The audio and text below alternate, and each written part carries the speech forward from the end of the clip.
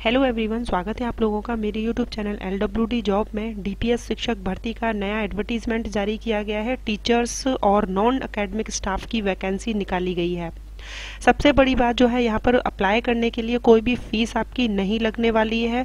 Fresher भी जो है अप्लाई कर सकते हैं और नोटिफिकेशन में सी टेट या टेट जो है वो बिल्कुल नहीं मांगा गया है। ठीक है तो जिनका क्लियर नहीं है सी टेट या कोई भी टेट एग्ज़ाम किसी भी राज्य का तो बिल्कुल यहाँ पर अप्लाई कर पाएँगे। सैलरी की अगर हम बात करें तो ट्वेंटी से लेकर सेवेंटी तक जो है सैलरी डीपीएस में मिलती है। जैसे कि अगर हम पीआरटी की बात करते हैं तो थर्टी थाउज़ेंड तक जो है यहाँ पीआरटी के टीचर्स को दी जाती है सैलरी और पीसीटी के टीचर्स को फोर्टी एट थाउज़ेंड से लेकर फिफ्टी थाउज़ेंड तक मिलती है। और जिनके पास जो है ज़्यादा एक्सपीरियंस होता है, ज़्यादा सालों का या हायर क्वालिफिकेशन होती है तो उसके अकॉर्डिंग उनकी सैलरी जो है और भी अधिक होती है। केवीएस से अधिक सैलरी जो है डीपीएस में मिलती है। तो चलिए देख लेते हैं विज्ञापन कहाँ से जारी हुआ है कौन कौन से सब्जेक्ट की वैकेंसी निकाली गई है, यदि आप अप्लाई करना चाहते हैं तो अंत तक वीडियो के बने रहे। तो सबसे पहले जो है मैं आप लोगों को बता देती हूँ वैकेंसी आई है दिल्ली पब्लिक स्कूल भोपाल। तो ये जो स्कूल होते हैं दिल्ली पब्लिक स्कूल ये आपको हर राज्य में मिलेंगे।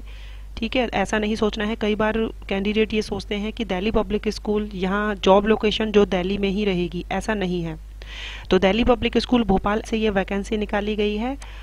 अब देख लेते हैं कौन कौन से पोस्ट में किस सब्जेक्ट की वैकेंसी है। तो प्रैप के लिए प्री प्राइमरी को टीचर्स की वैकेंसी है। प्राइमरी के लिए maths EVS English computer science Hindi Gujarati and Sanskrit की वैकेंसी है।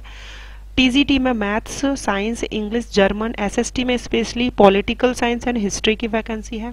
पोस्ट ग्रेजुएट टीचर्स के लिए English accountancy business studies and psychology की वैकेंसी है।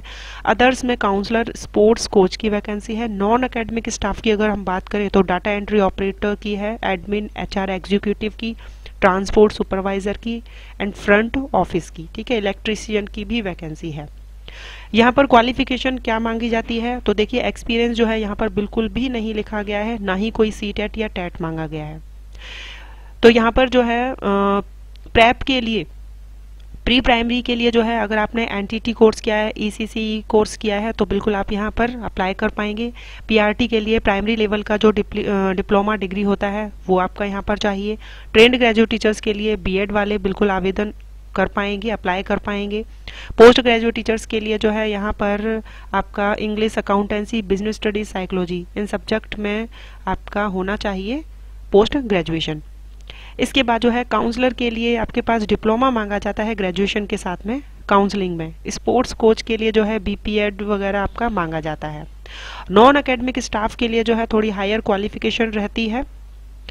तो अगर आप डाटा एंट्री ऑपरेटर के लिए करना चाहते हैं अप्लाई करना चाहते हैं तो यहाँ पर ट्वेल्थ के साथ में अगर आपके पास कोई कंप्यूटर का डिग्री डिप्लोमा है तो आप यहाँ पर जो है अप्लाई कर सकते हैं। इसके अलावा एच आर एग्जीक्यूटिव के लिए जो है और एडमिन के लिए जो है थोड़ी सी हायर क्वालिफिकेशन मांगी जाती है।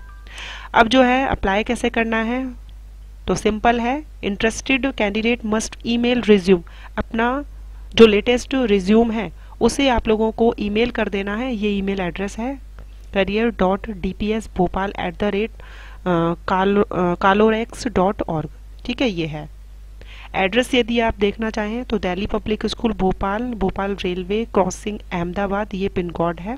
स्कूल की मेन वेबसाइट का लिंक मैं आप लोगों को शेयर कर दूँगी। यहाँ पर वैकेंसी सेक्शन ऊपर दिया हुआ है, बट यहाँ पर आप लोगों को एडवर्टीजमेंट नहीं मिलेगा। ये जो एडवर्टीजमेंट मैंने आप लोगों को दिखाया न्यूज़पेपर में पब्लिश इनके द्वारा किया गया है। ये स्कूल की बिल्डिंग है, आप देख सकते हैं। अगर आप यहाँ पर अप्लाई करना चाहते हैं, और भी चीज़ें अगर आप जानना चाहते हैं तो स्कूल की मेन वेबसाइट पर आकर बाकी चीज़ें जो है आप देख सकते हैं। तो ये जो है ईमेल एड्रेस है, इस पर जो है आप लोग अप्लाई कर सकते हैं। ठीक है? तो चलिए, मिलेंगे नेक्स्ट वीडियो में। Thank you